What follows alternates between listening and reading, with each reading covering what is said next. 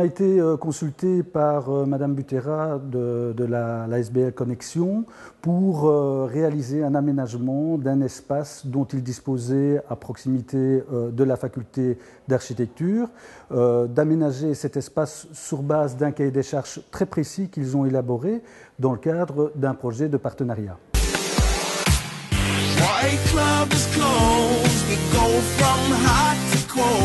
Un espace de coworking, c'est un espace de travail collaboratif. Donc, dans un espace de coworking, on retrouve quoi? Des indépendants, des freelance, éventuellement des télétravailleurs, qui travaillent chacun sur leur projet, mais en collaboration. Donc, c'est-à-dire chacun un espace de travail, mais a la possibilité de travailler avec d'autres porteurs de projets qui sont autour d'eux. Donc, on est vraiment dans un espace de travail où la collaboration est mise en exergue, où euh, des animations pour animer et pour favoriser cette collaboration sont développées.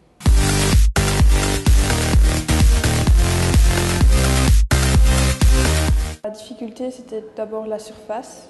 Comme le projet demandait, enfin, le cahier des charges demandait un, euh, espace de 250 mètres carrés, on n'en avait que 150.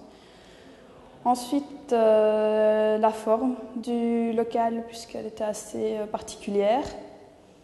Et enfin, les, sanitaires, ça c'est vrai que c'était un peu difficile puisqu'il fallait qu'on respecte la norme, PMR.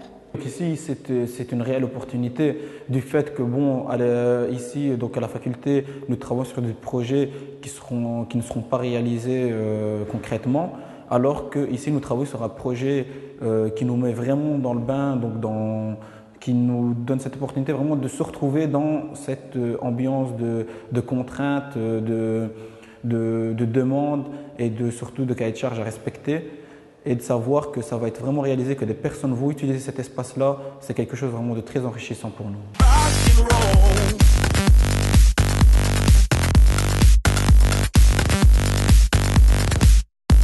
Donc, euh, dans le cadre de ce projet précis, il y a un double aspect. C'est évidemment la particularité du programme qui est proposé, puisque cet espace coworking est, est une conception assez récente du travail. Donc, il y a l'aspect euh, de nouveauté que représente le programme en soi, ce qui est intéressant évidemment dans le cadre de la pédagogie générale et dans la manière dont on demande aux étudiants de réfléchir ce que sera demain l'architecture et demain les espaces euh, habités et habitables.